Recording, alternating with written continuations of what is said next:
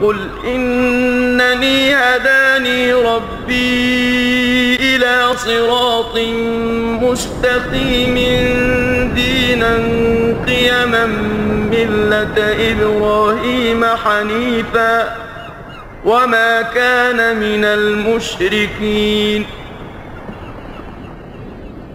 عن مسألة فقال الرجل الله أعلم. فرد عمر بن الخطاب رضي الله عنه وأرضاه قائلا لقد شقينا إذا كنا لا نعلم أن الله يعلم.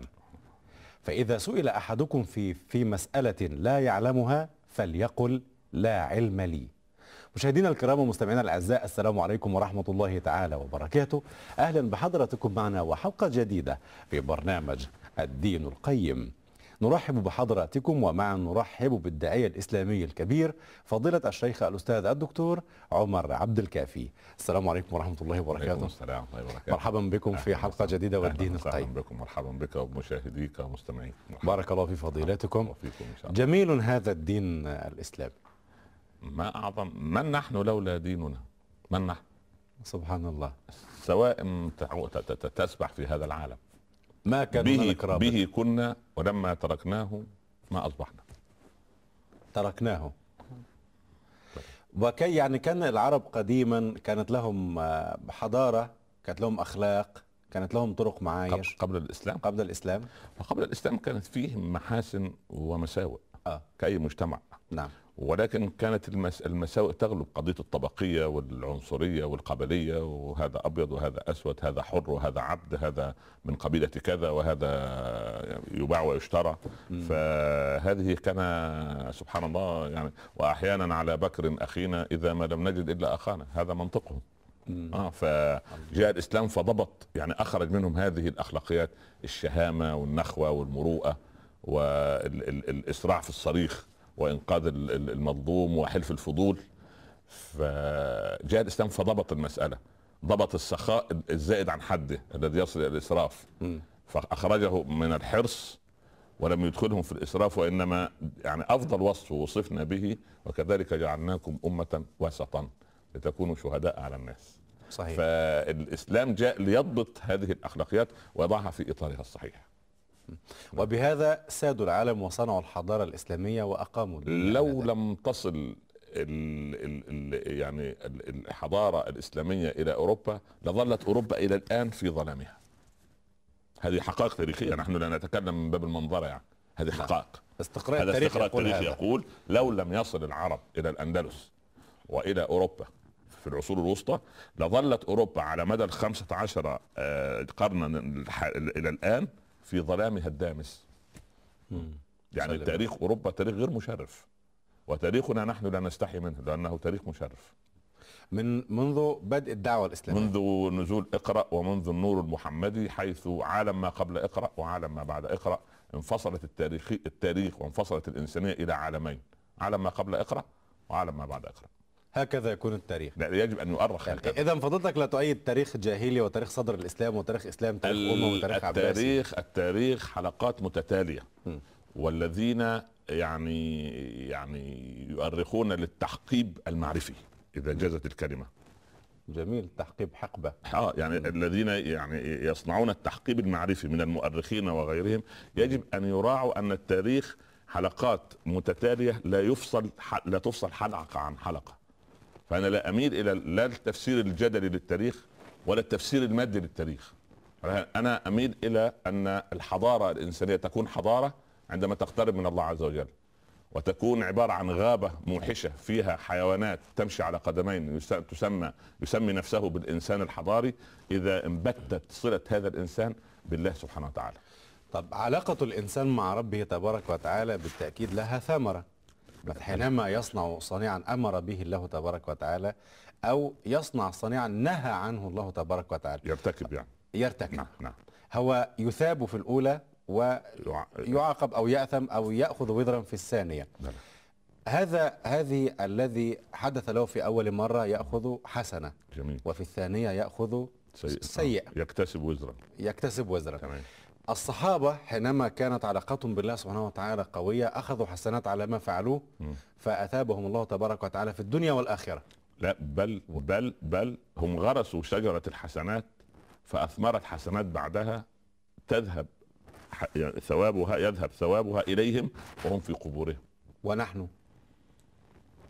نحن إما أننا قصرنا في عمل الحسنات وأجدادنا من السلف الصالح عملوا ال- الصدقات الجارية ونحن عملنا السيئات الجارية.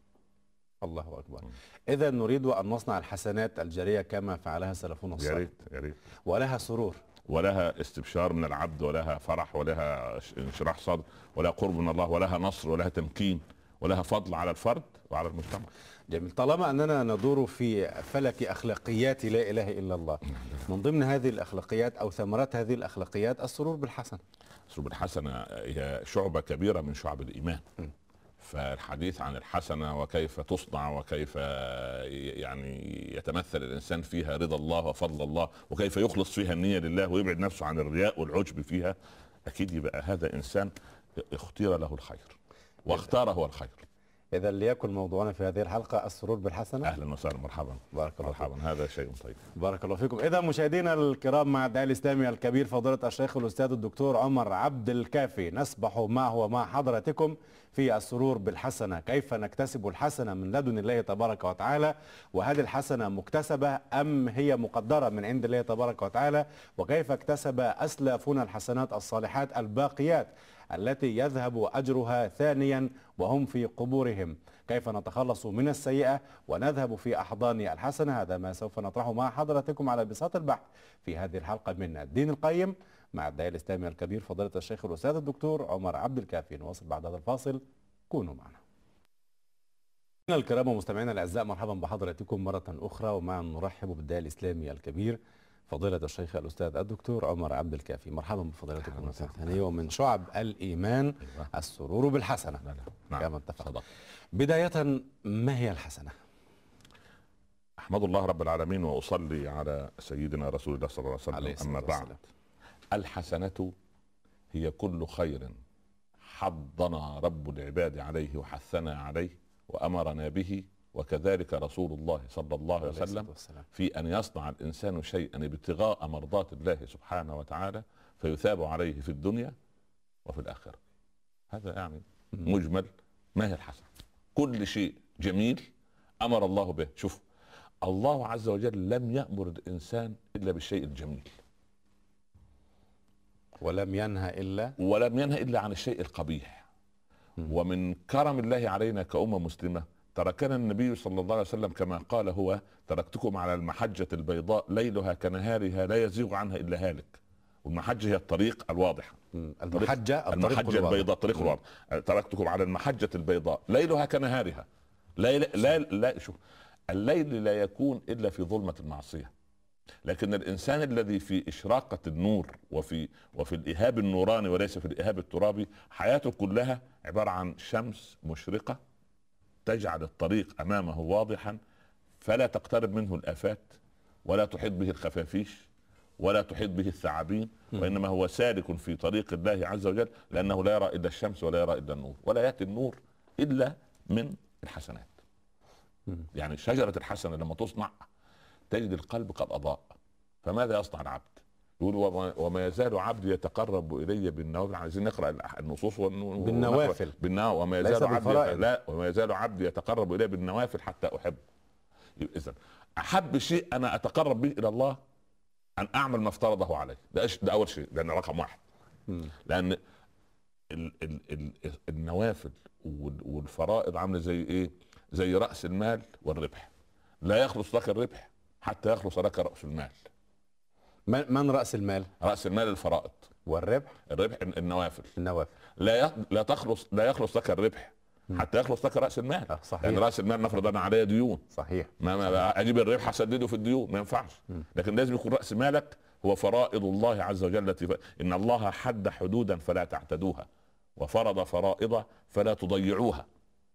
ثم قال وسكت عن أشياء رحمة بكم غير نسيان. وفي رواية غير نسيان فلا تسألوا عنها. هكذا قال لنا صلى الله عليه وسلم. عليه الصلاة شوف شوف والسلام التعبير اللي هو إيه؟ دقيق بيسموه مش الفراغ بعض العلماء يسموه الفراغ التشريعي. لا أنا يعني أتوقف عند هذه الكلمة لأن ليس هناك ليس هناك في الدين فراغ تشريعي. وإنما ترك ما يجتهد فيه المسلمون. لأن الاجتهاد وهو مناط القياس في أصول الفقه ده نعم. درجة من درجات التشريع. صحيح. ف... صحيح. فبالتالي سكت عن أشياء رحمة بكم. غير نسيان أو غير نسيان. لأنه هو الاشياء اللي سكت عنها. خلاص لا تسألوا عن أشياء. إن تبدأ لكم تسلكوا. فانتظروا حتى يأتي الايه حتى تأتي المشكلة. فإن جاءت موضوع لها الحل. مسبقة. ما, ما لا تشغل بالك لا تتعجلوا بها. ليه ليه؟ لأن الصحابة قلت أسئلتهم لرسول الله صلى الله عليه وسلم لأنهم طبقوا الإسلام. فلما طبقوا الإسلام ما عنت لهم الأسئلة. عنت لنا أسئلة لما ابتعدنا عن النور. اذا كثرة الأسئلة دليل على دليل, دليل, دليل على ضلال العبد أو بعده. أو بعد. نعم بلى بلى. يعني الصحابة لما تجمع يسالونك يسالونك يسألونك تلاقيهم 13 سؤالا فقط. بس. يسألونك عن الخمر والميسر قل فيهما إثم كبير وما ينفع للناس. يسألونك ماذا ينفقون؟ قل العفو. يسألونك عن الأهلة قل هي مواقيت للناس والحج يستفتونك في الكلاله قل الله يفتيكم فيهن. وإذا سألك عبادي عني فإني قريب. إذا هذه الجبال هذه الأسئلة 13 بس لماذا؟ لأنهم شغلوا أنفسهم بتطبيق الإسلام فما عنت لهم عقبات يسألوا عنها. الإسلام تطبيق وليس نظرية. لا لا النظرية دي نظرية الفلسفات الحديثة أو الحضارات أو ما يقال عنها يعني أو أو الفكر وأصحاب الفكر وكذا ذاك أنا يعني أتوقف عند كلمه مفكر إسلامي. يعني مفكر اسلامي هي تمنح كثيرا يعني إيه طب يعني ما أنا مش يعني إيه يفكر يعني يفكر في النصوص يعني ولا ما إحنا ده إحنا التفكر ده فريضة. يعني التفكر فريضتي وفريضتك لا, لا تختص عالما معينا آه. ولا ولا ولا عاميا لا, لا, لا, لا العوام والخواص آه. عليهم أن إيه؟ أن يتفكروا. هو كده. قوم يتفكرون. صحيح. آه أولي الألباب. وتفكرون في خلق السماوات هو ده ليه هم أولي الألباب؟ عشان هم يتفكروا فيعني إيه مفكر؟ نحن مطالبون بالتفكير لازم كل واحد فينا مفكر. اللي خلى الرجل الجاهل قال أنا أنا أفكر إذا أنا موجود. لا ده إحنا نقول له من ده, ده انت أنت خطأ.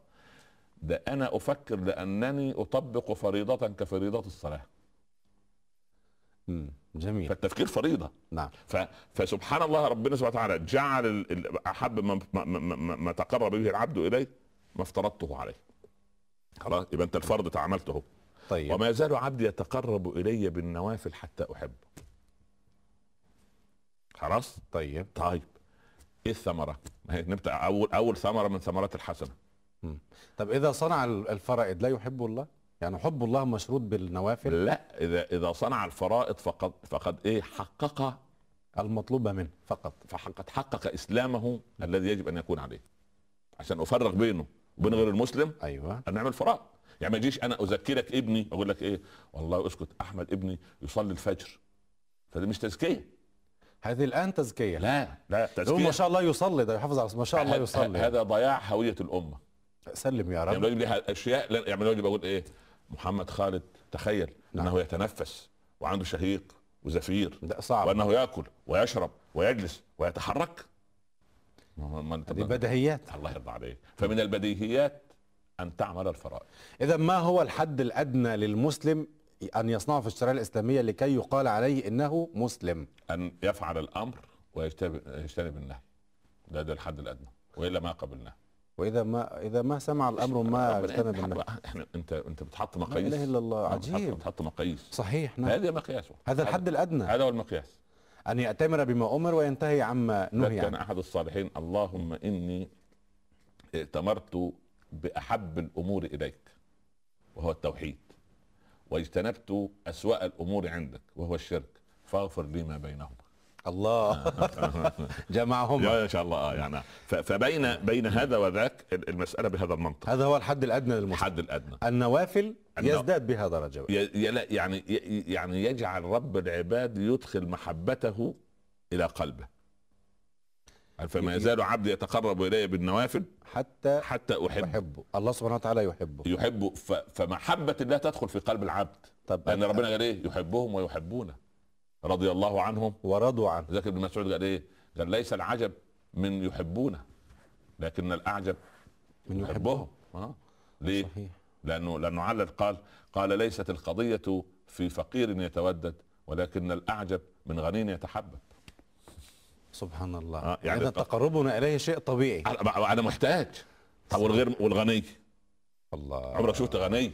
يربط على كتف الفقير بعد إذنك الله يرضى عليك. وأدعي لك بالخير أن تقبل هذا المبلغ. لا، لا. الله يرضى عنك. تعالى أجيب لك بيت وعشان أست- استرك و... ما. صحيح. بالعكس. سبحان الله بالعكس. العظيم. فسبحان فشوف الغني يتودد وهو أغنى الأغنياء. قال أتغ... أتودد إليهم بالمغفرة وأنا أشد الأغنياء عنهم. ويتبغضون إلي بالمعاصي وهم أشد ما يكونون حاجة لي. أهل ذكري أهل شكري أهل طاعتي أهل محبتي أهل معصيتي. لا أقنطهم من رحمتي. من تاب إلي منهم فأنا حبيبهم ومن لم يتب فإني طبيبهم وأنا إليهم أرحم من الأم باولادها لا يعني عايزين فضلتك على الكاميرا للساده. المشاهدين آه. وبهدوء حتى نستمتع بهذه الكلمات. هذا يعني حديث قدسي. في في آه نعم. فيما روي وإن كان يعني في سنده خلل لكن تقويه آثار أخرى. نعم. إني والإنس والجن في نبأ عظيم. نعم. اخلق ويعبد غيري. يا لطيف ارزق ويشكر غيري. خيري إلى العباد نازل وشر العباد إلي صاعد. أتودد إليهم بالمغفرة وأنا أغنى الأغنياء عنهم ويتبغضون إلي بالمعاصي وهم أشد ما يكونون حاجة لي.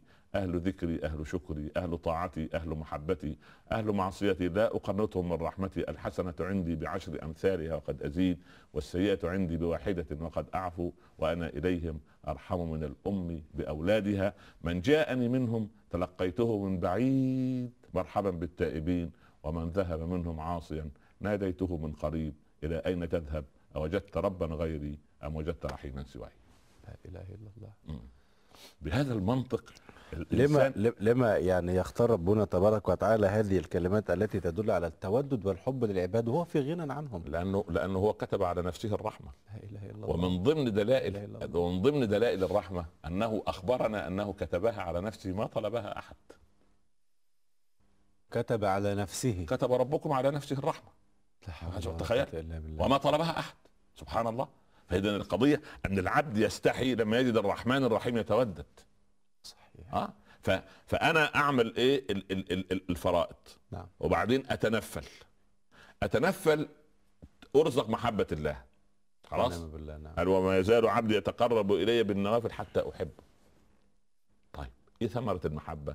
قال فإذا أحببته كنت سمعه الذي يسمع به وبصره الذي يبصر به ويده التي يبطش بها ورجله التي يمشي بها ولئن سألني لأعطينه وإن استعاذني لاعيذنه الله أكبر. يعني إيه كنت سمعه الذي يسمع به؟ يعني لا يلقي رب العباد في سمعك ولا يحبب إلى سمعك إلا ما يرضي رب العباد أن يسمع. يعني يبغض إليك مزامير الشيطان. يبغض إليك الغيبة. يبغض إليك الخوض في الأعراض. يبغض إليك النميمة. يحبب إليك إيه؟ قراءة القرآن. يقول الله لا أريد إلا هذا. الحجاب بيننا وبين هذه الأشياء الله سبحانه وتعالى؟ نعم. يعني لا يستطيع عبد أن يلزم أنه من تلقاء نفسه يبتعد عن هذه الأشياء؟ ان لا. يستعين بالله في البعد عنها؟ لا هو هو سبحان الله العظيم طالما أن العبد قام بالنوافل مم. فأحبه الرحمن الرحيم فلما يحبه يقذف النور الإلهي في قلب العبد فيشع هذا على جوارحه. الجوارح تاخذ من القلب فالقلب يخلي الأذن في معية الله. ونعم بالله. العين لا تقع حتى حتى ربنا يسد في وجهه باب المعصية. الله أكبر. يسدها. ليه؟ لأنه العبد طالما أكرم نفسه بالالتزام بأوامر ربه يكرمه الله بأن يقربه على بابه. يعني أقول لك شيء. مع إنها جملة اعتراضية. حليمه السعدية تقص عن سيدنا رسول الله صلى الله عليه وسلم لما أخذته. عليه الصلاة والسلام. بعدين رأيت منه عجبا رأيته يرضع ثدي الأيمن فإذا أعطيته الأيسر يابى سبحان الله. لما؟ فلما تكرر لما تكرر منه هذا الأمر مم. اكتشفت حليمة رضي الله عنها أن سيدنا الحبيب صلى الله عليه وسلم وهو طفل. بما وضع الله في قلبه من نور يريد أن يبقي الثدي الآخر لإخوانه من الرضاعة الشيماء وعبد الله لا لا إله إلا الله. حليمه تقول هذا. تكشفت أن هذا الكريم هذا الطفل سوف يكرم العالم كله لأن الله أكرم العالم به. فهو يكرم إخوانه من البداية وأخواته. فانظر إلى الذي يكرم البشر فما بالك بمن يكرم رب البشر؟ الله. بتطبيق اوامره. هيبقى عزيز عند الله ويبقى حبيب للرحمن.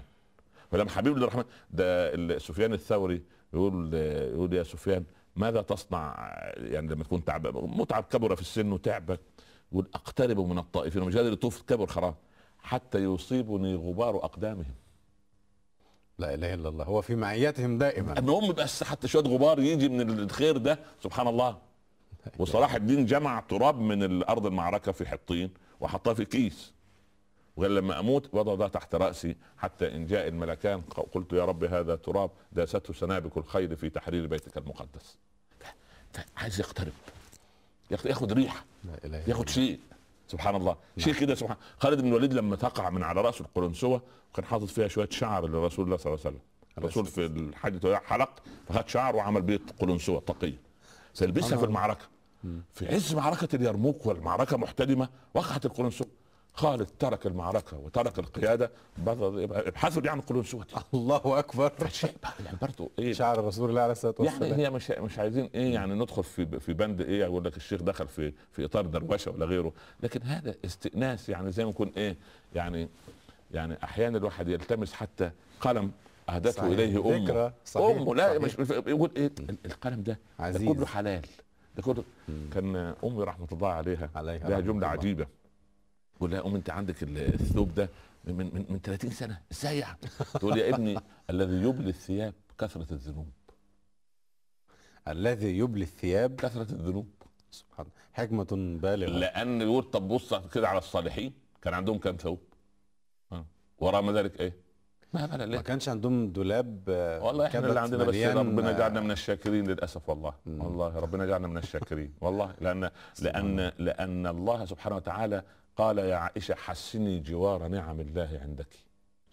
حسني لما دخل جوار نعم الله عندك. دخل لك لقمة في وقع في الأرض. خدها. أمط عنها الأذى كده وسمى الله أكلها. قال يا عائشة حسني جوار نعم. اذا نعم الله عايزة حسن جوار. لا إله إلا الله. حسني جوار نعم الله عنده فانا من قوم لم يحسنوا جوار نعم الله عندهم إلا وزالت عنهم وقلما عادت إليهم. والأكل الذي يلقى الآن في غير الأكل يا محمد ابن نعمة الأمن دي نعمة صحيح. لازم نحسن جوارها.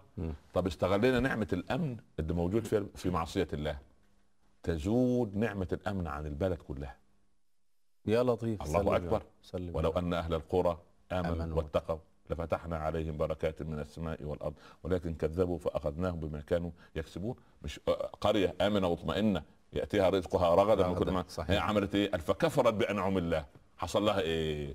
ها؟ فذاق الله لباس الايه؟ الجوع والخوف. الخوف والعياذ بالله يا رب. ليه؟ مم. لأنها ما حسنت جوار نعم الله عندما أمنت. سلم لقد كان لسبأ في مسكنهم آية التاريخ واضح. التاريخ. جنتان. التاريخ صفحة واحدة وليس صفحات. التاريخ صفحات متشابهة. عن مساء. يمين وشمال كل بلدة طيبة فلما أعرضوا ها؟ والعياذ خلاص. سيل العرب والعياذ بالله رب وبدلناهم بجنتيهم جنتين. يا والعياذ بالله. لطيف. لأن النعمة تبدل. النعمة تبدل. إذا لم نحسن جوار النعمة. ولذلك أعظم ما من الله به على قريش أطعمهم من جوع وأمنهم من خوف. هذا ما يخشى الإنسان أو البلده أو الجماعة من الناس على أنفسهم منه. الجوع والخوف. الجوع, الجوع والخوف. ولذلك ولذلك أن المؤمن إيه اللي يجيب الجوع والخوف؟ قلة الحسنات كثرة السيئات. بس عشان نيجي للموضوع تاني طيب. هل الحسنات هذا تجاهل وتطوف طيب الله يرضى عليك. هذه الحسنة هل هي من عند الله تبارك وتعالى مقدرة على العبد أم هي مكتسبة من صنيع العبد هي معلومه عند الله لكن العبد هو الذي يقوم بها نود توضيح يعني الله عز وجل لا يقع شيء في ملكه دون علمه فهو العليم الخبير ونعم بالله يعني لما تسقط من ورقه يعلمها نعم آه يعني في ورقه في غابة في شمال اسكندنافيا وقعت الساعة الواحدة وسبع دقائق بعد منتصف الليل مكتوبه عند الله. كلهم في كتاب مبين. سبحان الله. قد يتعجب الإنسان يقول ورقة طيب. مكتوبه آه ورقة مكتوبه ولذلك الناس من خمسين سنة كانت- ك- الناس كانت تتعجب من خ... ليه؟ لأن الورقة لما نزلت الورقة دي بتعمل عملية تمثيل كلوروفيلي تمثيل ضوئي بالليل. هي بالنهار تطلع الأكسجين عملية النتح والت- وتمام وتاخد أول اكسيد الكربون. تيجي بالليل تعمل العكس. لذلك دايما ينصح إن إيه يخلوا الورود ويشيلوها من الغرفة بالليل. صحيح نعم ليه عشان أول اكسيد الكربون. طيب فلما يحصل ورقة وقعت ها افتقدت البيئه جزءا من كمية الأكسجين الناتج عن هذه الورقة. لأن كل شجرة كل شجرة تخرج كمية من الأكسجين تكفي لتنفس 80 شخص. تمام؟ فلما تسقط الورقة حصل مشكلة.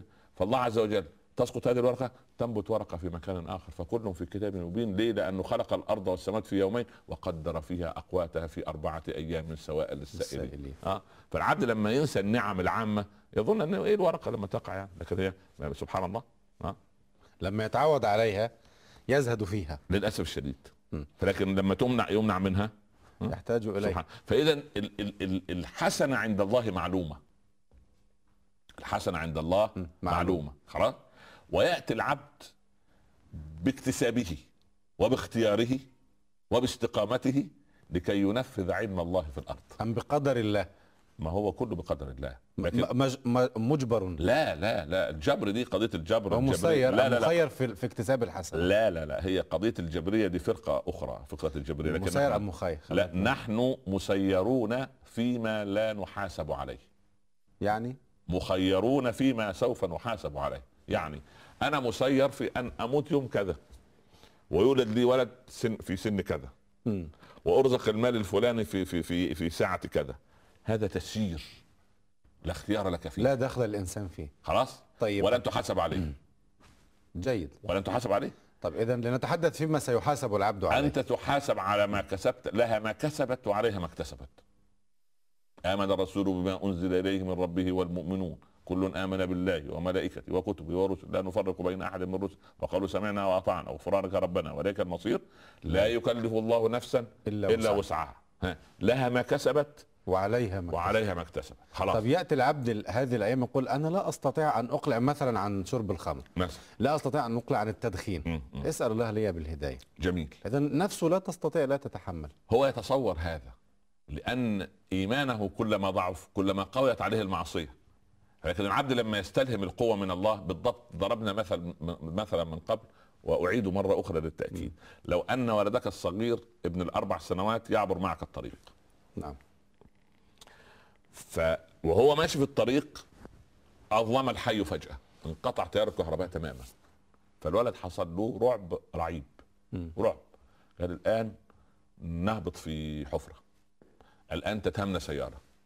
الآن جميع الهواجس ندوس في بطن كلب ي- يتبعنا من شدة تسلم الهواجس أو أو أو هجوم الهواجس عليه نسي أن أباه بجواره يحدث. نسي يحدث. فشغل نفسه بإيه؟ استسلم لهذه الهواجس تمام. فنسي نعم.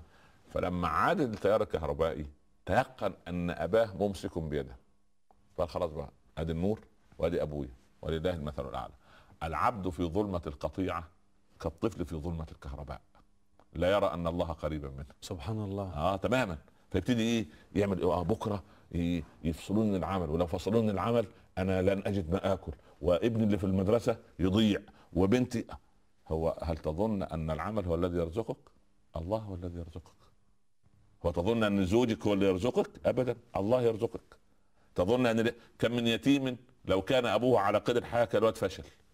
كم من يتيم كان صالح وأعظم يتيم في العالم عرفته البشرية سيدنا محمد. صلى الله عليه وسلم. ما قال أبي أبي ولكن قال ربي ربي. يعني ف... فإذا أنا عايز أرجع وأقول إيه؟ ان هو ال- ال- العبد لما يشرق في قلبه قمر التوحيد وقمر العقيدة وشمس اليقين والتوكل على الله وكثرة الحسنات يرى أن رب العباد أقرب إليه من حبل الوريد فتحبب إليه الحسنة. فيحب يعمل الحسنة تلو الحسنه ومن عظمة الإسلام أن من ثمرات الحسنة والطاعة الطاعة بعدها. يعني مثال أروح المسجد قبل الصلاة بخمس دقائق. أول شيء أصلي ركعتين. أدي حسنة. وأنا رايح الخطوة نفسها حسنة.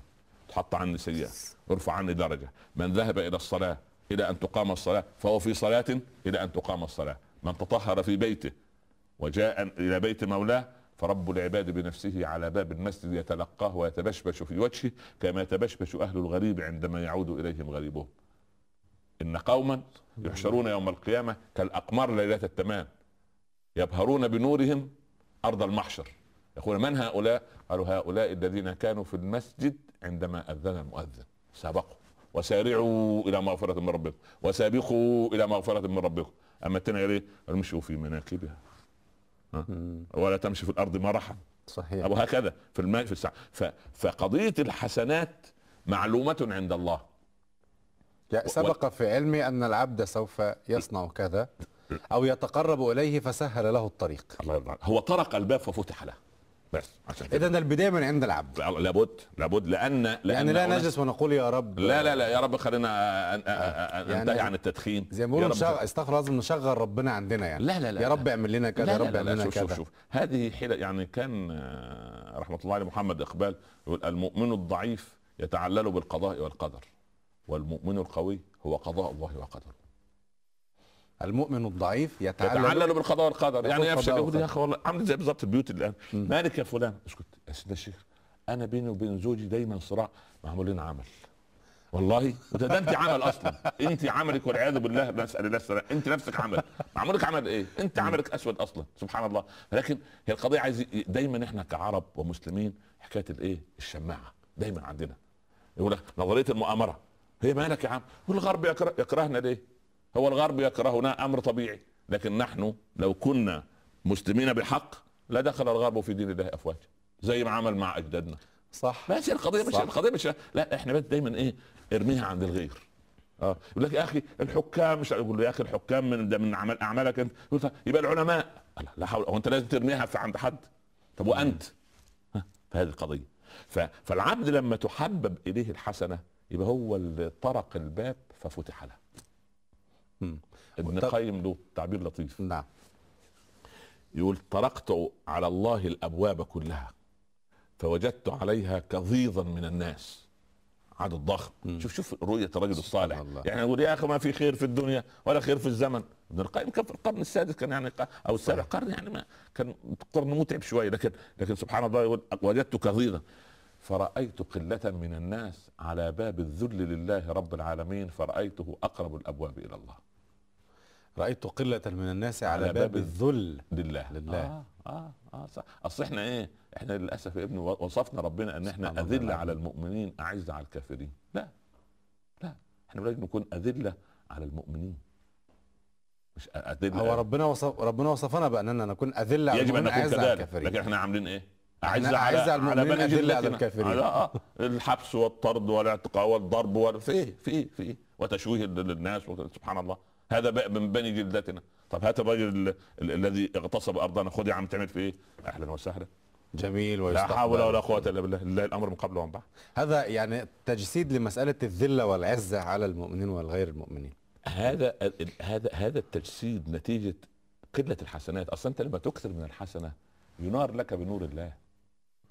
نحن أن نعتمد على أنفسنا يعني. نور الله سبحانه وتعالى ومعية الله. الظروف تبدلت وتغيرت. لا تتغير. لا لا لا وما لا, لقيصر. لقيصر وما لله لله. لا, لا إحنا قلنا من قبل أن ما لقيصر لله وما لله لله فلا شيء لقيصر ولا لكسرى.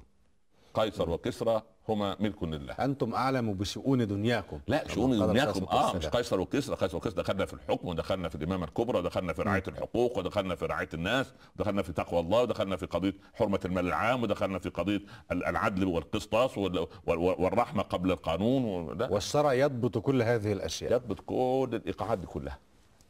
بس حقيقة فهمنا للشرع.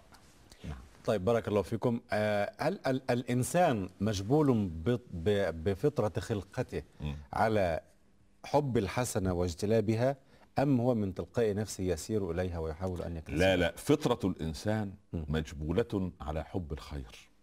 أصل الفطرة. واه والنفس الإنسانية مجبولة على حب من أحسن إليها وكراهية من أساء. يعني أنت لو أحسنت إلى إلى هرة معينة تأتي كل ما تراك تهز ذنبها. تهز ذيلها إذا أحسنت إلى كلب عقور لا ينبح عليك لأنك تطعمه. النفوس جبلت على هذا. مم. وكان سيدنا عمر يقول اللهم لا تجعل لفاجر علي نعمة حتى احبه لا إله إلا الله. مش عايز يحب واحد فاجر. بس ما تاخدنيش يعمل فيها معروف. أصل لو عمل فيها معروف هضطر أحبه. آه، شوف شوف شوف اللهم فقه لا. تجعل لفاجر نعم. علي نعمة حتى لا أحبه. أجد نفسي مضطر لحبه وأنا من الواجب ما احبش فاجر واذا احشر من أحب قوما. آه. حشر معه هي كده. طب يعني لنهبط في الواقع هناك نعم. مثال يقول مثلا القط ما يحبش إلا خناقه. آه. ومسألة ال- التحابيش في العلاقات الأسرية تحديدا عشان تزداد المحبة وتزداد القرابة. مم. يعني كيف نضبط هذا لا الأمر المجتمعي في سياقيات؟ المشاكل التي تحدث في الأسرة مم. هل هي مفتعلة؟ ما أحيانا الناس أحيانا تفتعل. تكون مفتعلة. مفتعله يبقى الله لا يبارك في هذا البيت. إذا افتعلت أنا دون جريرة. يعني نبئنا ولو نبئك مثل خبير ده. حضرتك ما شاء الله في الله- ال- الله في علم الاجتماعيات. طيب لك باع. طويل يعني, يعني يعني يعني قضية أنا أنظر إلى هذه العوان التي عندي. آه. هذه الأسيرة. مش إن إيه إنهن عوان عندكم؟ صحيح. خلاص؟ طيب. نعم. عوان يعني أسيرات. أسيرات. أسيرات. الزوجة أسيرة. طبعا. هل تستطيع تخرج بدون إذنك؟ هو الآن تخرج. معلش، لا، وتسافر يعني. يا ابني خلينا إحنا نك... خلينا نشوف إن... خلينا... يا ابني ما نتكلمش على الاستثناءات خلينا نتكلم على القاعدة من دين الله. نعم. إحنا نتكلم في الدين القيم. نتكلم الآن في شعب الإيمان. صحيح. نتكلم كمان في الحسنة. وهذا كلام يوجه للزوجة حتى وإن كان القانون الوضعي ي- يعني يخولها أنها تسافر بدون بالوضع، زوجها. أنا يا ابن الحلال لا وجه لها نداء عبر أضلنا الفضائية. إلا عندما نصبنا من ذوات أنفسنا قوانين دائما القوانين الوضعية عاملة زي الأدوية ليها أعراض جانبية لكن القانون الإلهي ليس له أي عرض جانبي. ألا يعلم من خلق بلى بقى خلاص. اللطيف الخبير خلاص بقى. يبقى, فهو القضية أن سيدنا علي يقول إيه ان إن النساء عوان عن- عندنا فلينظر أحدكم أين يضع أسيرتها يعني خلي بخ- يعني بنته يعني. ها، هتحط بنتك عند مين؟ عند واحد بخيل عند فظ غليظ القلب عند ملياردير ولكن يعني تقابله بطلب وب- عن طريق السكرتارية. يعني عندما تريد معه اجتماع ولا والله نعم. خدي موعد من ال- من من مكتب السكرتارية مثلا مثلا. ف- فقضية افتعال الأزمات داخل البيوت نتيجة غياب الحسنات ما هو لما تغيب الحسنات توضع مكانها إيه؟ يا سيئات. الشيطان يا السيئات. صحيح. ما ما هو وكلاهما أسوأ. النفس النفس إن لم تشغلها بالحق شغلتك بالباطل. والزجاجة إن لم يملاها شيء ملاها الهواء. والنفس الإنسانية إن ما ملأهاش الخير يملاها الهوى مش الهواء يملاها صح. وساعات الهوى بقى تحدث واتخذ عن- إلهه هواه. خلاص خلاص خلاص. يصير. كريشة في مهب الريح. ما ما ما لا يحق حقا ولا يقتل باطلا. لكن في أصل جبلته مخلوق على الحسنة على حب مخلوق الحسنة على حب الخير يولد المولود على الفطرة. قال العلماء لو جئنا بمخلوق لم يرى لا التلفاز ولا شيخ ولا مسجد. ولا معلم ولا مدرس وتركناه في الصحراء أو في الغابة لنشا موحدا. سبحان آه الله هذه سبحان الله. وإن أحسن أحد إليه سبحان الله العظيم هي هي هي هي هي إذا- إذا ما الذي يجعله يتجه إلى البعد عن الحسنات وأن يرتمي في أحضان السيئات؟ هو لما لما يستمر ال ال ال قسوة القلب. ما قسوة القلب كيف تأتي؟ يستمرئ يعني؟ يتعود. آه استمرار شيء أنا أتعود عليه. يعني كده إيه آه، كل يوم أستمر إن أنا أنام لغاية الساعة الثامنة صباحا ولا استيقظ قبل الفجر. استمرأت هذا وتعود البدن على هذا. والبدن يحب الراحة. مم. قال يا ابن القيم كم تتعب بدنك؟ قال إنما راحته أريد. سبحان أنا الله. اقوم الليل وأصوم النهار عشان راحته بعد كده الراحة الأصل- الأصلية. مش أيوة. مش أنا. طب أنا استريحت شوية اليوم وبعدين؟ قمت الشيطان بال في فمي وبال في أذني والرزق منع مني خيره وقمت منقبض الصدر. لكن لما يستمر القضية لا يقوم منقبض الصدر ولا غيره لأنه هو صدره منقبض أساسا أصل يقول لك إيه؟ أنا في نعمة وفضل تعالى تعالى. أنت بتقوم الليل ولو ركعتين يقول لا. طب بتصلي ال- ال- الصبح في وقته؟ يقول لا. طب أحيانا بتصوم غير رمضان يقول ابدا. طب في صدقات بتقول ابدا. طب حب بديك من لسانك؟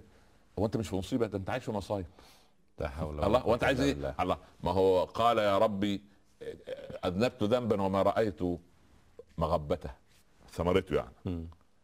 ف- فرأى النبي في الرؤيا أحد الصالحين يعني بيقول يا رب أنا عملت ذنب بس مش شايف عاقبته سريعة ولا. فرأى الرسول في الرؤيا يقول له يا أبا عبد الله أأنت خاشع في صلاتك كما كنت؟ قال لا قال وهل تريد ذنبا أكثر من هذا؟ أنت عايز إيه؟ المطلوب يعني؟ الله أكبر إيه المطلوب؟ أنت مش خاشع في الصلاة عايز إيه؟ ها؟ ف- ف- مم. فالقضية بهذا المنطق طيب فأنا أنا أح- يعني بطبيعتي مجبول على حب الخير طيب مجبور. إذا إذا نشأ الإنسان على هذا ووجد نفسه بعيدا عن اكتساب الحسنات وهو مرتمن في أحضان السيئات ويريد أن يعود إلى أصل خلقته وهي حب الحسنات وتحصيلها مم. هل هنالك عقبات تقف أمام تحصيل الحسنة؟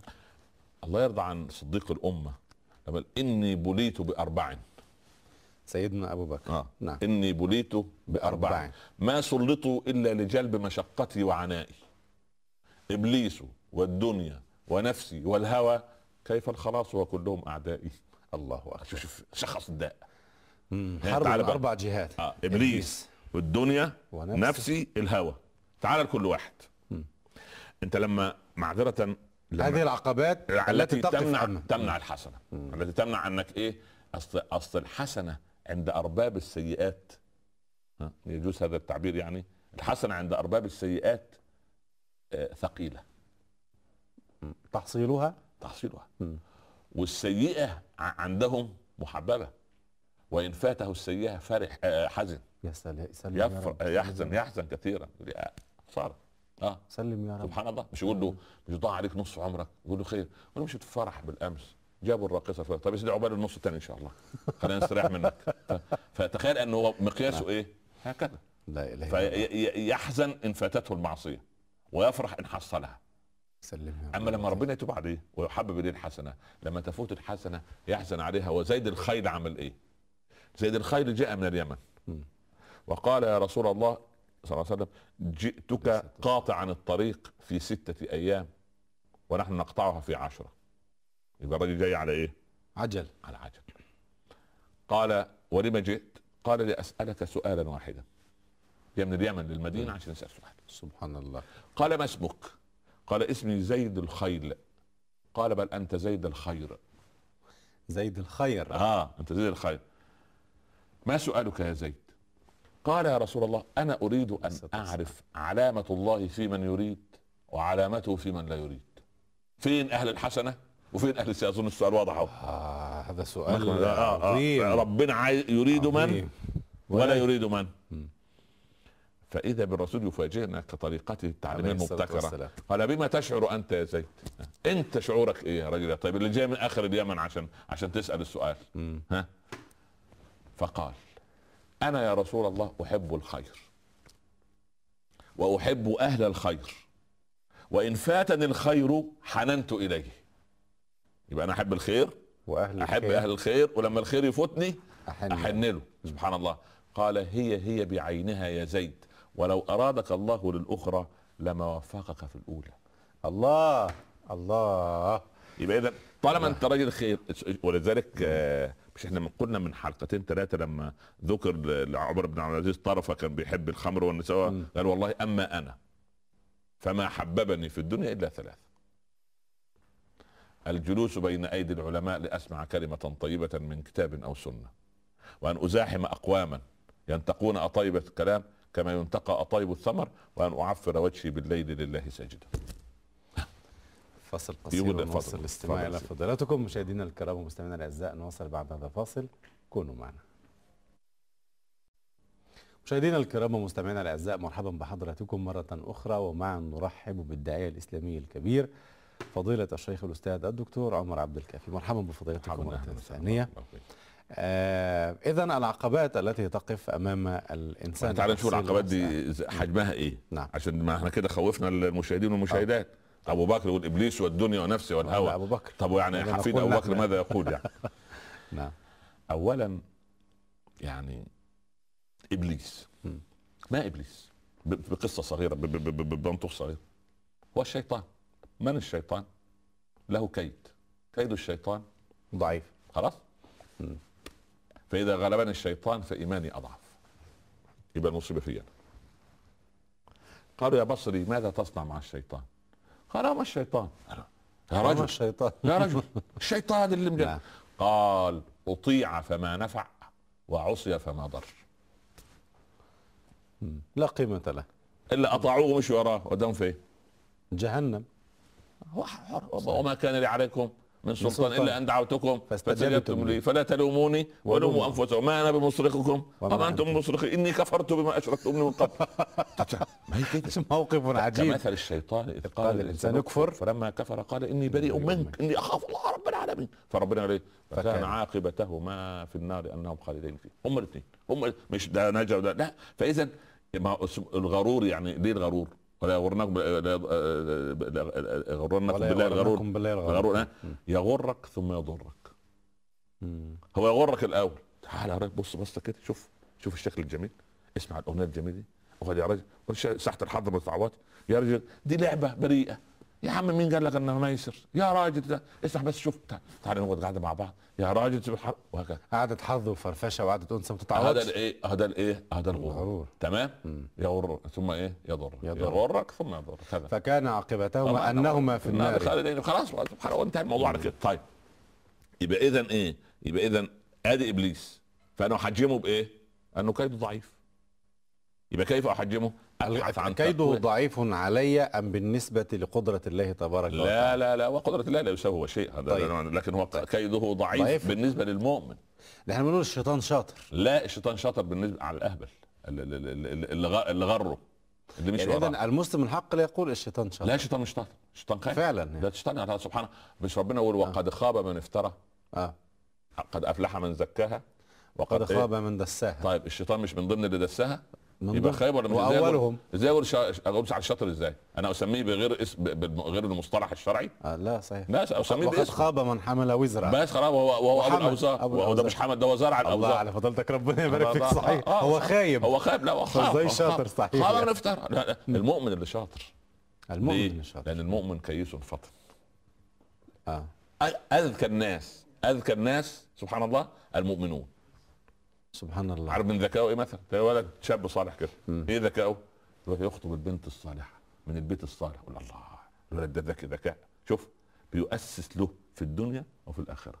بيؤسس له راحة النفس هدوء البال. آه. هو يقول لها ما تتحجب كيس فطن هو آه. الكيس من دان نفسه وعمل لما بعد الموت. هذا هذا مناط الكياسه ما هم كيس ليه؟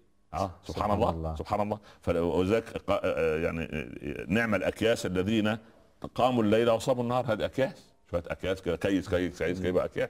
سبحان الله. أكياس دي. لا بلاش أكياس يا سيدي. آه. آه.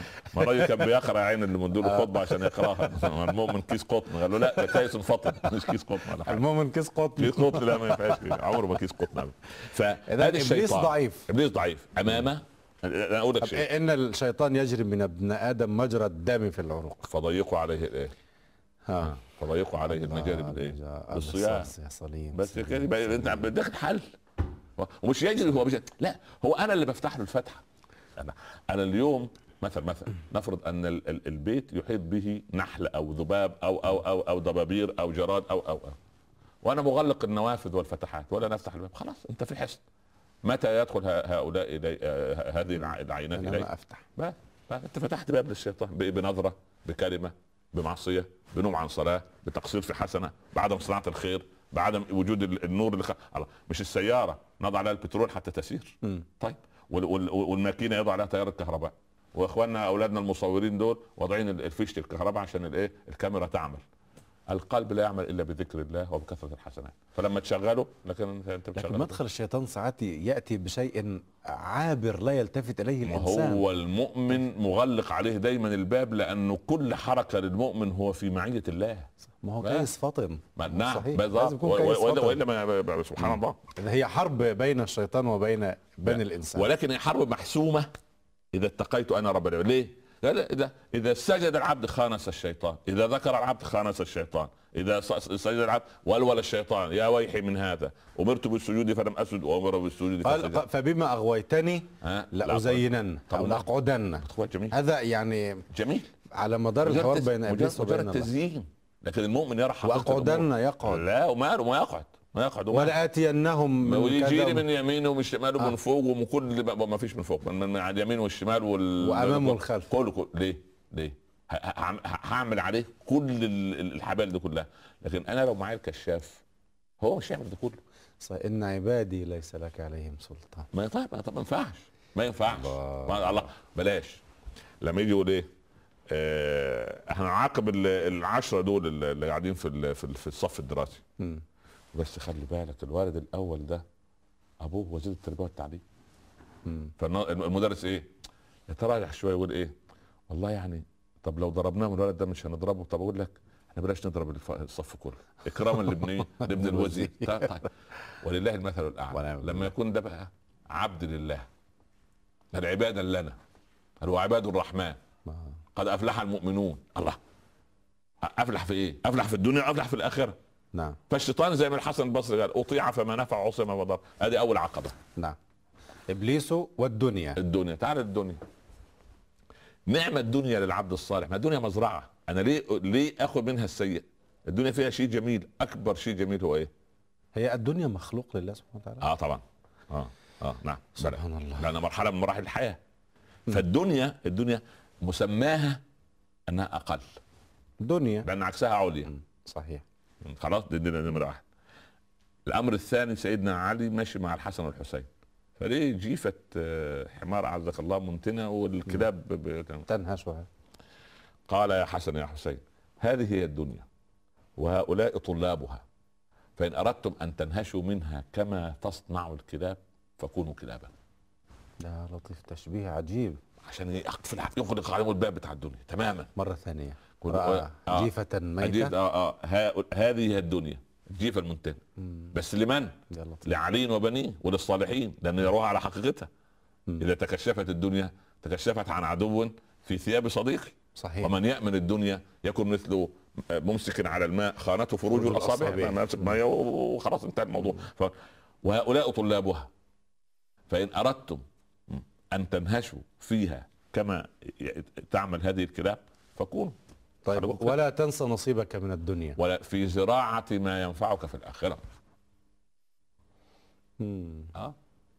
في أن تزرع فيها. واعمل لدنياك كأنك ما فيش. مش حكمة يا ابني ليست حكمة ولا حديث. هذا مش حديث؟ لا ولا حديث ولا حكمة حتى ولا تصلح أن تكون حكمة. مفيش حاجة كأنك ال- الحكم لا لا, لا, لا, لا تحمل على التأبيد. يعني كأنك لا إمام أو في حد عايش ابدا. الكلام لازم يكون منطقي. غرب ما تسمع. الله يرضى عليك. ف نعم.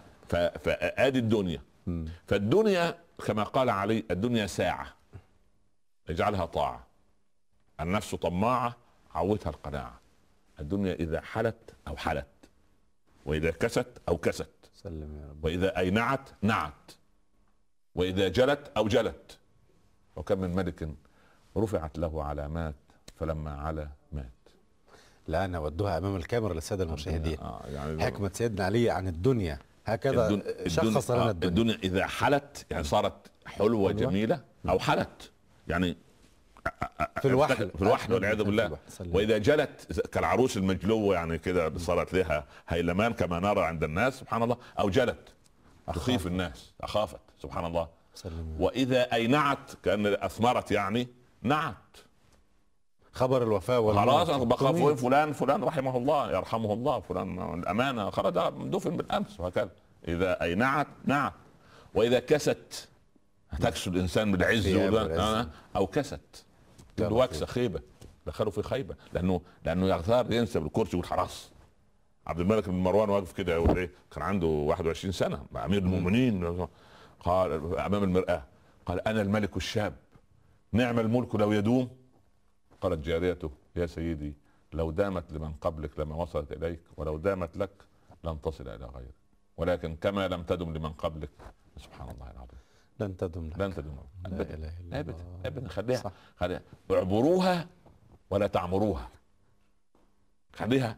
ما أنا في الدنيا إلا كراكب ظل تحت شجرة. ثم راح وتركها. فالدنيا لما توضع في هذا وجدتها كدار لها بابان. دخلت الباب خرج ف- فالقضية ان أنا أزرع فيها الخير وأعمل فيها الخير وأبني فيها الخير ولكن كل ده ابتغاء مرضات الله. وكم من ملك رفعت, رفعت له علامات رايات و- وسبحان الله. فلما علا مات. مات.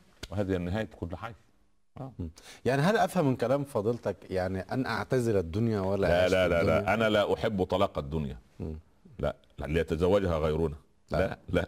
ونحن لا نتزوجها زواج أبدي وإنما نستخدمها ولا نخدمها نستخدمها. يعني يجب أن نستخدم الدنيا ونستخدم الدنيا ولا نخدمها لكنها يعني متربعة في قلوب كثير من العباد نتخلص؟ لقلة وجود نور الحسنات داخل قلب العبد.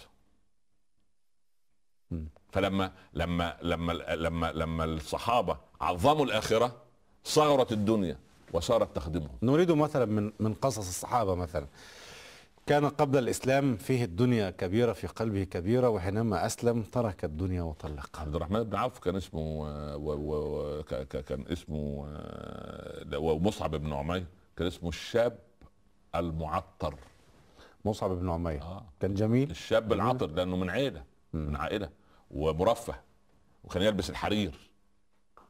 فلما أرسلوا الرسول صلى الله عليه وسلم إلى المدينة ليعلم الناس قالوا في بيعة العقبة الثانية طب أرسل معنا حد يعلمنا يعني أول سفير في الإسلام. فراح فما من بيت إلا ودخل الإسلام عن طريق مصعب وكل ده في ميزان حسناته. سبحان الله أول سفير. أغلب الأنصار. كيف اختار الرسول آه سفراء طبعا طبعا مش عليه الصلاة والسلام. نعم. نعم لأن لا يختار إلا بميزان. صحيح. والميزان كتاب وسنة ورؤية الرسول صلى الله عليه وسلم فيما يريه. الله عز وجل. المهم فلما جم يدفنوه في في المعركه لما رزق الشهادة كانوا يغطوا رجليه وجهه يظهر يغطوا وجهه بثوبه لما ما عندوش أثواب ما فيش. كفن فقراء. هذا الشاب المعطل. المعطر سبحان الله. والرسول ورا وجد يديه من العمل وكده.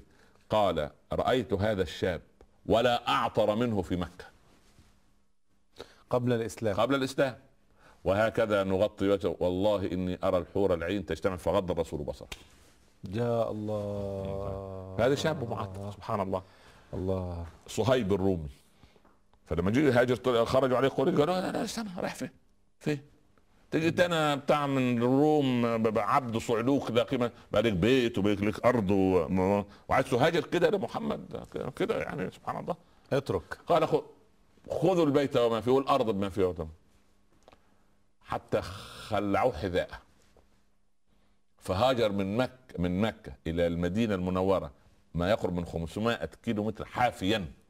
فوصل بعد ثلاثة أيام من شدة الجوع دخل إلى رسول الله صلى الله عليه وسلم وجد في يديه بعض بضع سلم وأخذ يأكل ويقول له الرسول ربح البيع أبا يحيى ربح البيع أبا يحيى. لا إله إلا الله. هؤلاء هم ملوك الدنيا وملوك الآخرة.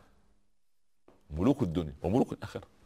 إبليس والدنيا ونفسي. نفسي. نفسي النفس أمارة بالسوء لازم أرقيها اللوامة أرقيها للمطمئنة أرقيها لراضية لمرضية لملهمة. لكن أرتكس عند النفس الأمارة بالسوء هذه مصيبة من قلة الحسنات أيضا. نعم. ثم الهوى. الإنسان يجنب الهوى. شوف دايما إيه اعمل عكس ما تقول له نفسك وهواك. بالليل أنت عايز تنام ولا تقوم لتصلي؟ النفس تقول لا نام أنت تعبان. وبعدين عندك شغل. الصبح قول له لا قول له أنا أقوم أصلي والوقت ده جند من جنود الله والصحة من عند الله عز وجل وأنا لما معين. اقوم إن شاء الله ربنا هيكرم. تنضبط حياتك. صحيح. فاقهر الهوى. فإذا هذه هي العقبات التي تقف أمام الإنسان لصناعه الحسنات. بارك الله فيكم. فاصل قصير ونواصل الاستماع لفضلاتكم مشاهدينا الكرام مستمعينا الأعزاء نواصل بعد هذا الفاصل. كونوا معنا. مشاهدينا الكرام ومستمعينا الأعزاء مرحبا بحضراتكم مرة أخرى ومعا نرحب بالداعي الإسلامي الكبير فضيلة الشيخ الأستاذ الدكتور عمر عبد الكافي. مرحبا بفضيلتكم. مرحبا ثانية آه يعني هؤلاء الأعداء من الأربع جهات إبليس والدنيا والنفس والهوى. آه، سأل أبو بكر الصديق سؤالا كيف الخلاص وكلهم أعداء؟ يعني هل لك أن تجيب على هذا التساؤل؟ العملية قياسية. بمعنى؟ لما أبو بكر يقول أن إبليس سلط عليه فبدلا بدلا من أن يقوم الليل كله قام نصفه. الله. وبدلا من أن يقوم ثلثي الليل قام ثلثه. بدل أن يت- يتبرع بماله كله جاء الشيطان فجعله يتبرع بنصف ماله. فالمسألة هنا قياسية. لا تظن أن الشيطان هذا الذي تبرع بماله كل الرسول عليه الصلاة والسلام. نعم. تبرع بماله وقال الرسول تركت لهم الله ورسوله. يعني أنا بضرب الأمثلة ما يحزن أب أب أب أب أبو بكر. بكر؟ أبو بكر. درجة الكمال في العبادة الله يرضى عليك. فلما ينزل عن درجة الكمال الماتش هو بيحصل على 98% مره جاب 95% يقول إيه ده؟ ده إبليس. هذا إبليس. كيف؟ الخلاص. منه؟ آه طبعا. خلاص. نحن ماذا نقول؟ ما هو ما هو قال ابن مسعود أسمع فتاوى كل يوم عشرة أو عشرين عشرة أسئلة أو عشرين. تجيبون عنها. لو سئل فيها أو في واحدة منها عمر بن الخطاب لجمع لها أهل بدر. وفي إيه؟ مالكم عندكم إسهال فتاوى كده. زعلان. زعلان من إسهال الفتاوى اللي موجود عند ال عند ال عند الصحابة والتابعين. لا لا لا. هو كان يندهش من كثرة الأسئلة أيضاً. بكثره الأسئلة والناس بتجيب بتجيب ده وتعجب من الإجابات. يقول لا لا لو أنتوا بتجاوبوا كمان. ده عمر لو سئل في واحد يجمع أهل بدر الأول. ويسأل الموضوع؟ إيه القصة؟ الحكاية؟ ينفع ولا ما ينفعش؟ فهي هي هي قياسية. هي قياسية. صحيح. آه آه. يعني ف... فلما أبو بكر يقول إبليس والدنيا ون- بهذا المنطق لكن لكن كيف نتخلص نحن؟ أيوه بالضبط نعم. اولا ال ال الأموال التي نكتسبها نحن لا نراجع رب العباد فيها ولا نراجع أنفسنا ما المفروض علينا عمله؟ مفروض أن مالي سوف أسأل عنه من أين اكتسبته وفيما وفيما أنفقته فده لما اكتسب مال نتيجة أن والعياذ بالله موظف عام يرتشي ويأخذ تحت ما يسمى عنوان الهدية وقلنا مقياس الرشوة أو أو لو مكث في بيت أبيه وأمه أكان يهدى إليه شيء مم.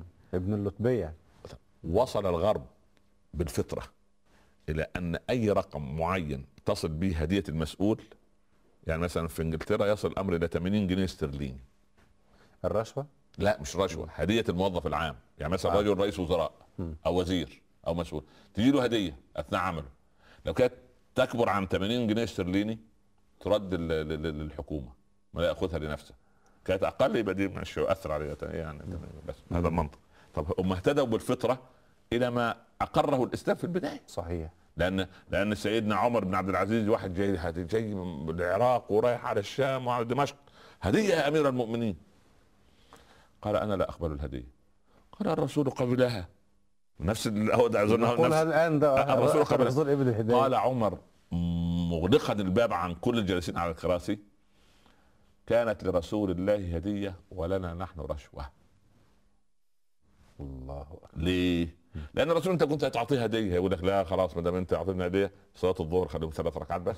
مش ممكن لا لا حاشاها رسول الله. إذا. ما- الرسول ما, ما, ما فيش كلام لن يعطل الشرع. ولن ولن يحابي. ولن يحابي أحدا على. حساب احد لأنه. ما ينطق عن الهوى. صحيح. أما إحنا بشر. نحن بشر. سبحان الله. يعني ال- ال- البشرية عبد يعني الملك حتى بن- لا ينبغي أن تقال هذه الجملة. لا لا لا, لا, لا, الرسول- لا قبل الكلام على عواهنه. إحنا لسنا كالرسول لا لا لا, لا, لا عليه الرسول قبل لا الرسول قال تهادوا وتحابوا. آه. اما مش اهاديك وانت موظف عام؟ لا. واطلب خدمة. نعم. واطلب خدمة. وتط... و... وحتى طلب الخدمة هو ما هو ال- المدرسات في ال- في في الصفوف الدراسية. مش بيعطوهم بعض التلاميذ يجيبوا لهم هدايا؟ مم. لا ده بمناسبة نهاية السنة. آه. حرام هذه؟ مش مش مسألة حرام. هي لو درست للولد ده بعد ذلك أو البنت دي السنة القادمة هتحابيه ولا مش هتحابيه؟ هتحابيه؟ بس خلاص طب يعني ما هي الرشوة؟ باستطراد جانبي لأن كلنا يسأل عن ما هي يقول فعلا هدية محبة إكرامية. قال يعني- صلى الله عليه وسلم مم. هدايا العمال غلول. هدايا العمال غلول. غلول. هذا نص حديث ما اظن واضح لما ما فيش قطع لا. أغلق الباب. قطع الجهيزة مش جهيزة قطع الحديث قول كل خطيب. صحيح. ما آه. قضايا آه. هدايا, هدايا العمال غلول. غلول يعني تغل صاحبها في النار يوم القيامة. لأن لأن ال- ال- النبي صلى الله عليه وسلم قالوا هنيئا له الشهادة يا رسول الله. قال ما أدراكم. لقد اشتعل عليه قبره نارا من أجل شملة قد غلها دون وجه حق. وهو محارب. يا لطيف. واستشهد. الحق في الغنيمة. ولكن دون إذن القائد أخذ الغنيمة قبل توزيعها. فغلها فهذا العمال غلول. سلم يا رب. آه. سلم. وذلك إيه؟ سوف يأتي الذي غل يوم القيامة. شاء بعير له ثغاء أو شاة لها رغاء أو أو أو إلى أو شاة تيعر. وايه وشايلها على رأسه على كتفه. يا إيه؟ يلا ده ده مقياس الايه؟ مقياس ال- ال- ال- ال- البعير وال- وال- والشاة. لكن بمقياس الأرض وال- وال- والمباني والبنايات؟ والمصانع يشيل. أرضاً يشيلها؟ يحملون أوزارهم. ها؟ واوزارا مع, مع, مع, أوزارهم. ما الأوزار؟ الثاني يا لطيف. شيل وزر ووزر. آه طبعا. والتانيين إيه. اصحاب المظالم واقفين له على الصراط. تعال. راح فين؟ ادفع. أنا. ادفع. ادفع حسنات. ادفع. وخلص الحسنات خذ سيئات. لتردن المخيط والمخيط. يا لطيف. قال عمر بن الخطاب ليتني أموت كفافا. لا علي ولا لي. كده أنا- أنا عايز حسنه ولا سيئة. أبوي كده. بس كده بقى. زي نزلت. ولا قوة إلا بالله. في القضية مش سبحان قال أبو ذر وهو يموت ليتني كنت كبشا أملح ذبحني أهلي واحتسوا مرقتي. وقال أبو الدرداء يوم وقال أبو الدرداء ليتني كنت شجرة تعضد يجلس الناس في ظلها ثم يحرقونها فيستدفون بها. يا لطيف يا عمر بن الخطاب لما مسك التبنة وهو يتألم مش لما لما طعنوا أبو لؤلؤة قال ليت أم عمر لم تلد عمرا. يا ليتني كنت نسيا منسيا. عمر. ماسك التبنة كده يقول ليتني كنت تبنة. تبنة. لا إله إلا الله. لأن الصالح المكثر من الحسنات نعم. ربنا يرفع من أمامه الحسنات دائما فيرى نفسه مقصرا فيصنع أكثر وهذا من رضا الله عليه. الله. أما الثاني ربنا يكبر له طول حياته يقول إيه؟ أنا حجيت سنة 48 إنما حج إيه؟ ما سبحان الله خلاص. طب هل يعني تحصيل كثرة الحسنات وزيادتها لدى العبد يتنافى مع الإخلاص الكلام فيها إخلاص أم غير إخلاص؟ لا هو هو, رجل سأل النبي صلى الله عليه وسلم قال يا رسول أصنع الحسنات فاسرها مم. فتظهر فأفرح. يعني هو يعمل شيء يقول والله يا أخي المسجد الفلاني ده فهو يفرح أن عمل خير. قال لك أجران. لك أجران. آه على أجر ما- الحسنة آه. وأجر الفرح بالحسنة. مش انت عنوان الحلقة يا يعني ابني إذا الفرح نفرح؟ الفرح بالحسنة يعني لنا أن نفرح قل. بفضل الله وبرحمته فبذلك فليفرحوا. هو خير مما. يجمعون آه مالك كلام الله جميل إزاي الله ونعم. آه آه قل بفضل الله أنا. أفرح أنا أنا أفرح بفضل الله لما لما كده لما تقول سبحان الله يعني سيدنا موسى لما لما هزه آه، هزته خطبته وبكى بنو إسرائيل الله بنو إسرائيل لا يبكون إلا من خطبة بليغة. مش ممكن بنو إسرائيل يبكوا ده ما يبكوش ابدا. إلا إذا ضاع المال من عندهم بس الحاله الوحيده اللي يبكوا فيها. لكن غير كده فبكى كل بني إسرائيل. فالراجل اقترب منه كده. قال له يا كريم الله هل هناك على وجه الأرض من هو أعلم منك؟ قال لا. أنا النبي الرسول الكريم. بعدين أخطب خطبة أنتم تبكوا؟ ده ده- هو في خطيب اقدح مني ها؟ وبعدين ندل على قصة الخضر إلى اخره ف... ف... فالإنسان لما تهز الحسنة ده شيء طيب. بس إيه؟ بس لا يرائي بها. في خيط رقيق بين الفرح بالحسنة والرياء. كيف؟ يعني أنا إيه أحب لما أقعد معك كده عايز أذكر لك حاجة كده إن أنا إيه أقول لك والله يا ابني عارف الساعة أربعة وربع كده الصبح الكلاب كانت كثيرة في الشارع بطريقة عجيبة. قول لها إيه وأنت إيه اللي رجعك الساعة الرابعة والربع؟ ده, ده وقت يعني كنت في الشغل ما كانش في شغل ولا عم لا يا ابني والله ساعة صلاة الفجر يعني بتاع طوع عليه. يبقى- ده و- و- و- هباء من يقول له خذ حسناتك ممن إيه ممن صليت من أجله. آه. يقال لك مصلي. لا لا لا, لا لكن, لكن لكن علي زين العابدين ابن الحسين الله يرضى عليه ولكن 40 سنة. فقراء الكوفة طب مين اللي بيحط الأكل؟ مين اللي يضع الثياب على الباب؟ يضع المال من تحت العقب الباب؟ من؟ إلا لما مات علي زين العابدين بعد 40 سنة زين العابدين. علي زين العابدين بن الحسين رضي الله عنه ابن علي. فلما غسلوه وجدوا أثر الحبال على. اكتافه لما كان يحمل قرب. الماء وأكياس الدقيق الله. وال- والسكر للفقراء وال- الله ويخبئ. ما شاء الله. سبحان الله. بالله. سبحان الله. وأم الحسنين فاطمة رضي الله عنها. كان كان مؤثر على رقبتها الحبل وتحمل القربة لتسقي وترعى مال علي وناقته. سبحان الله. يعني إذا له أن يعني يفرح بهذه آه. يستبشر الله يرضى يسر. يسار شوف ومقياسها إيه في صحيح مسلم. شوف ده- ده- وده حديث بقى يعني كده عشان أخواننا وأخواتنا ما يعني ما, نعم. ما يضيقوش ذرعا بنا من البتاع. أن أن إن سرتك حسنتك وساءتك سيئتك فأنت مؤمن. إن إذا سرتك آه. حسنتك وساءتك سيئتك فأنت مؤمن. معيار طيب. تعمل الحسن. الحمد لله. ال- إيه؟ شوف ابن عطيه يقول إيه لا تفرح بالحسنة لأنها برزت منك ولكن افرح بها لأن الله جعلك لها أهلا. الله. لأن هو مرة زيد ثانية الخ... لا تفرح بالحسنة لأنها برزت منك. لأن أنا صنعتها. لا لا لا. ولكن افرح بها لأن الله جعلك أهلا لها. كم من أناس ليسوا أهلا للحسنة ولا للطاعة. صحيح صحيح. الحمد لله ما تفرح يعني سبحان إنما المعطي هو الله. فأنت تفرح أنها إيه؟ الله يحبني ويسترني. فاخترني من العباد ان أعمل الحسنة. هذا هو مقياس طيب. آه يعني أن يفرح بالحسنة أيوه ويساء ويحزن. بالسيئة. أحزن يقول ده دي بس كده أستغفر بهذا المنطق. وهذا الحزن وهذا السرور يعني يعني سبحان الله يضاعف لك الأجر. يعني أنت عملت حسنة. هي في ذاتها إيه؟ لك فيها إيه؟ حسن. أجر. تمام؟ نعم. ثم سررت بها. هذا أجر. آخر. هذا أجر آخر. عجيب سبحان الله ولذلك النبي صلى الله عليه وسلم عليه إيه؟ والسلام. إن العبد لا يخطئ يده كيس لا تخطئ يده كيس نقوده مم. يعني أنت شايل حاطط الأموال بتاعتك في الجيب ده فأنت نسيت وضعت إيدك في الجيب الإيه الثاني فوجب قلبك الفلوس فين؟ أضعف إيه؟ ضاعت قال تحات ذنوبه كما تحت ورق الشجر في اليوم الشاتي الله أكبر. من رحمة اللي عايز يخاف شو أنت ضعيف والمال وأنت المصروف الشهر. مع شيء غير طيب أنك قلبك يرتجف. لكن من كرم الله عليه. رحمة الله من سبحانه كرم الله رحيم عليه. الله أكبر. رحيم. الله فالعبد لما يتفكر كده يجد الدين شيء جميل ويجد أنه في معية الله. سبحان الله. لذلك يقول لك يا أخوة أنت ما, ما, ما, ما أنت ما, ما تزعل. يا أخي نغضب نحن إذا رأينا حرمة من حرمات الله تنتهك نغضب إذا وجدنا نحزن إذا وجدنا حال الأمة صعب. لكن لما الإنسان يكون في معية الله بالحسنة ينشرح صدره. وبعدين أي إنسان يقلل من فعل الحسنات فهو ثغرة في جسد الصف الإسلامي. طبيعي. آه؟ طيب. نعم. سؤال يعني ربما كان من المنطق أن نسأله في البداية لكن بعد هذا التجوال والتوطاف نعتقد أن الوقت مناسب الآن تفضل. له.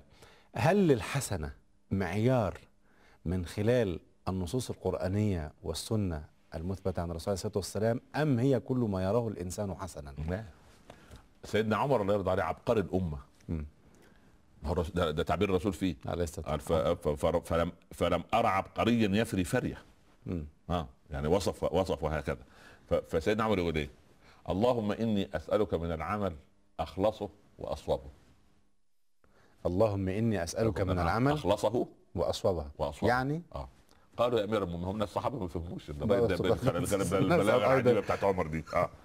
فقال أخلصه ما كان خالصا لله وأصوبه ما كان على الكتاب والسنة. أنا أروح ممكن أخلصه ما كان خالصا لله مش مش لا لحد. يشرك به لا أحد بيقول إيه والله تبرع فلان الفلاني لدار اليتامى آه. بما لا, لا ده مش خالص. إحنا فبارك الله فيه وأكثر من ونشد ونديله جايزة ونديله شهادة ونعلقه ال- ال- ال- الاكليل هذا لا يقبله الله.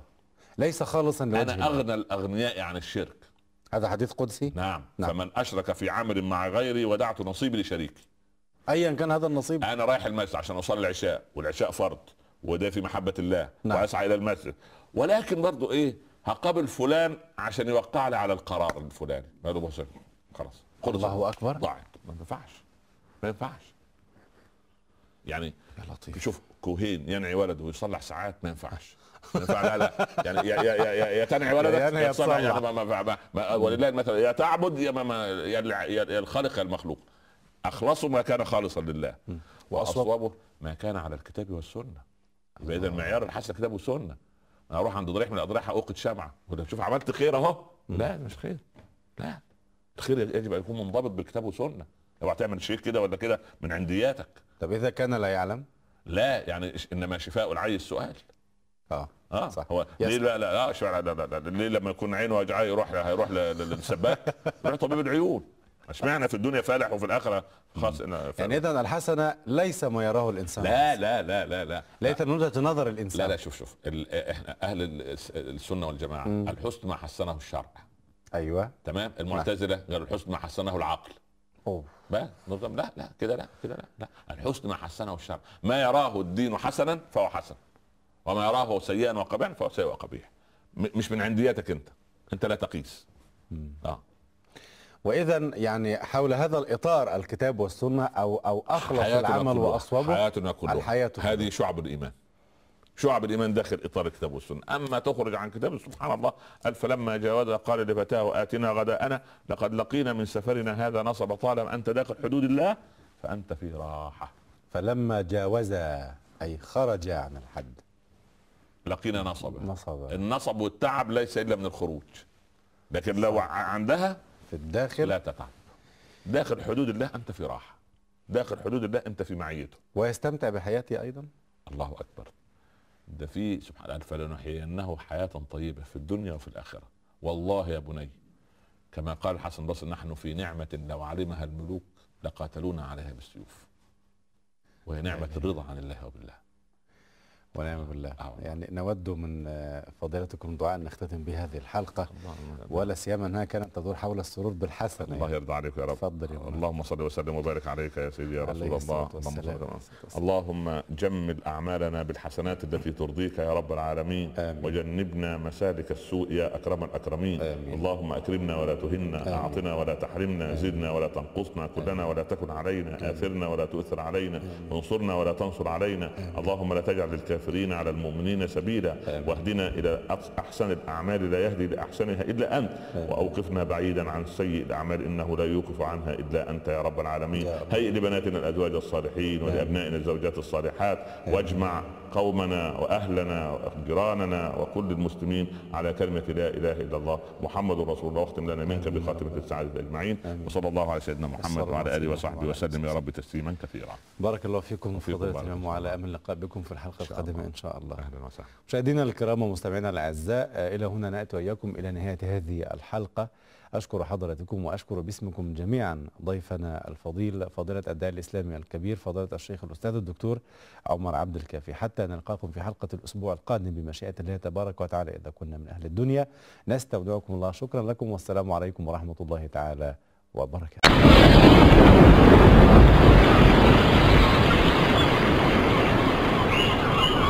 قل إنني هداني ربي إلى صراط مستقيم دينا قيما ملة إبراهيم حنيفا وما كان من المشركين